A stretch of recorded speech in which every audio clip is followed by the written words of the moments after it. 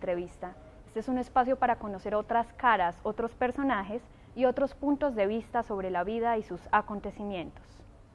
Hoy nos acompaña Laura Gudelo, periodista y creadora del blog La Pesada de Moda.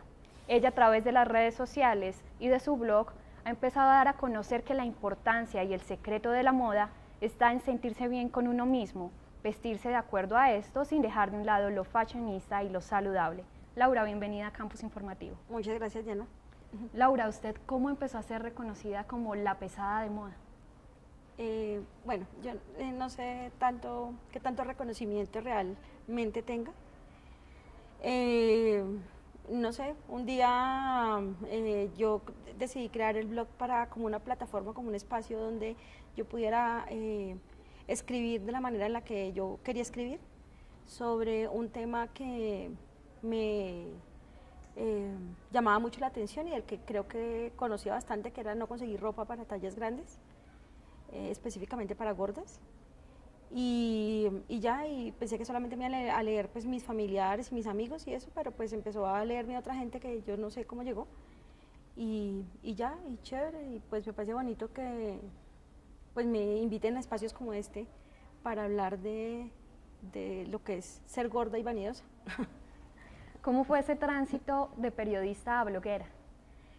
Eh, como muchas cosas en la vida, no, fue algo que se dio por gusto.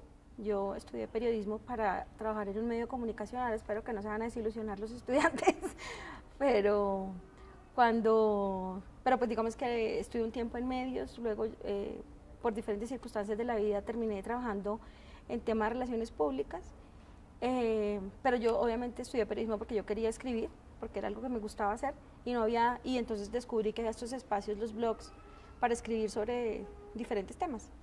Eh, y nada, entonces ahí, ahí empecé en el blog y ya, y ahí llevo ya cuatro años. Cuatro años. Bueno, Laura, ¿y qué es y qué definitivamente no es la pesada de moda? ¿Qué es la pesada de moda? La pesada de moda es, como digo, mi espacio eh, para la quema de calorías pseudo intelectuales, o sea, no pretendo ser ni mucho menos una intelectual, no sé si escribo bien o escribo mal, me gusta hacerlo. Eh, me gusta hacerlo en ese tono en el que lo, que lo hago. Eh, ¿Y qué es? Pues ese es el espacio donde yo me desahogo escribiendo sobre los temas que, que, que, me gustan. Eh, no es exactamente un blog de moda, aunque, porque como el, nombre es La Pesada de Moda, mucha gente lo relaciona inmediatamente con el tema fashion y no es eso. Aunque obviamente sí hablo mucho del tema de, de no conseguir ropa para las gordas. ¿Y qué no es? No es una apología a la gordura, jamás. No pretendo que la gente sea gorda, nunca. Eh, más bien eh, lo que quiero es que las que ya somos gordas, o a las que les faltan, o las que tienen las narices muy grandes, o tienen eh, el busto pequeño, o tienen mucha cadera, o lo que sea, se acepten como son y no estén lamentándose del cuerpo que tienen. ¿sí? Algunas llegamos así porque la naturaleza nos mandó así, y otras eh, porque no nos cuidamos o porque tenemos una enfermedad o por la, por la razón que sea. Entonces es un poco más como eh, decirle a la gente acéptese como es y no se preocupe tanto por tener una imagen artificial, superficial, eh, construida. Creo que es eso. En la creación de comunidades virtuales es muy importante la fidelización. ¿Cuál cree que fue ese factor detonante que hizo que la pesada de moda no fuera un blog más, sino que empezara a aumentar visitas? Pues yo creo que es como, como cuando alguien decide poner un dedo en la llaga, bueno, sí. Eh, como cuando la primera persona que empezó a hablar de sexo en la televisión, entonces eh, pues se hizo famosa, entonces seguramente alguien que empezó a decir, utilicen la palabra gorda sin problema, entonces me imagino que es por eso porque tal vez, además esto no empezó hace cuatro años, esto empezó hace mucho más tiempo. Eh, yo creo que yo como 10 años hablando de no hay ropa para las gordas, no hay ropa para las gordas, y pues hace cuatro años ya como que se oficializó de alguna manera con el blog. Eh, realmente no sé, no sé cuál es la fórmula mágica, porque cuando digo más bobadas, por ejemplo, en Twitter, la gente me sigue más. Eh, realmente no, no, no sé cuál es la fórmula mágica, no sé. Yo pienso, me van a dejar de seguir por esto y y cuando veo tengo como más seguidores, por ejemplo en Twitter. Eh, en el blog tengo unos lectores que son súper fieles, o sea, hay gente que no conozco, pero que reconozco porque obviamente siempre me escriben, me dejan, me dejan comentarios, eh, me mandan correos, me reclaman cuando no escribo, o sea, a veces yo duro dos meses sin escribir o no sé cuánto tiempo. O sea, yo no soy como muy disciplinada, evidentemente. La falta de disciplina es uno de mis grandes, eh, de mis grandes defectos. Eh, y, y, entonces me llaman reclamándome, pues hace rato que no escribe, porque no he vuelto a escribir? Y cuando escribo me escriben también diciéndome, ay, me hacía falta reírme con las cosas que se le ocurren y eso. Pero no sé cuál es la fórmula, no, no hay una fórmula, no sé. Bueno, y precisamente hablemos de ese vínculo con sus lectores. ¿Cómo es ese intercambio? ¿Cómo es esa relación? ¿Ha conocido a algunos de sus lectores personalmente?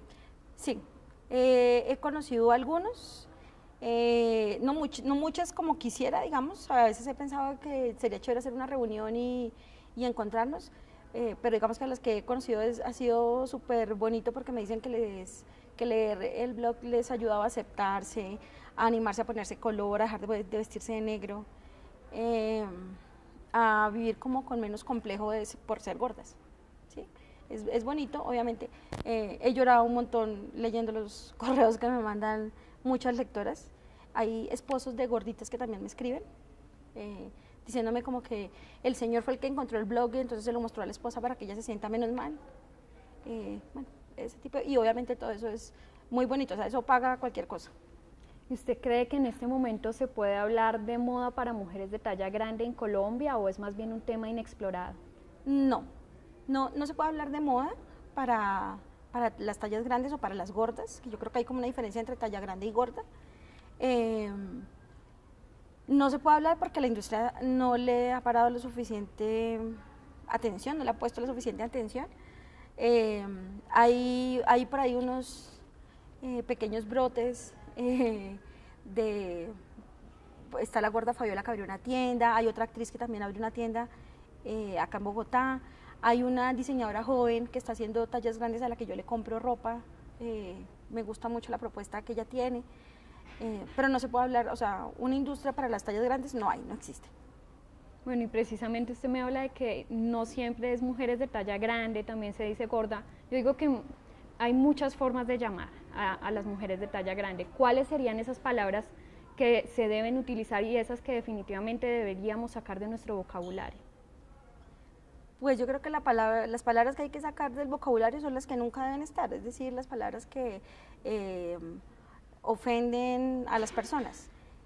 Pero una palabra que se tiene que seguir usando y que la gente tiene que aprender a, utilizar es la palabra gorda. Tú eres flaca, ¿cierto? ¿Y te ofendes porque te dicen flaca? No. No. Bueno. Eh, a una rubia le dicen rubia y se ofende porque es rubia? No. Bueno, a una alta se ofende porque le dicen alta? No. porque las gordas nos tenemos que ofender porque nos digan gordas? Somos gordas. ¿Sí?